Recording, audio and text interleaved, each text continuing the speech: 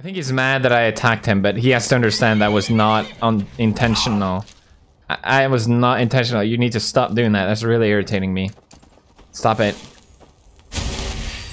Bro, I can literally just heal myself. You're weak as hell. You're weak as hell. You understand that? I don't care. I don't care. I don't care if you hate me. I don't want to read Revan right now. I want the Hoya who getting attacked more than. All right, let me just. God fucking damn it. Here, here, take the rat.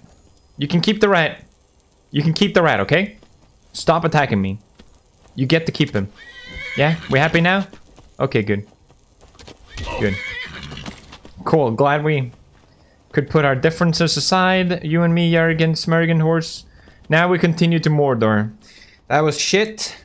But let's be more careful now, okay?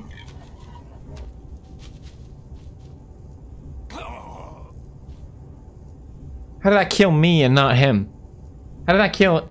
How is he fine? That was a shit deal.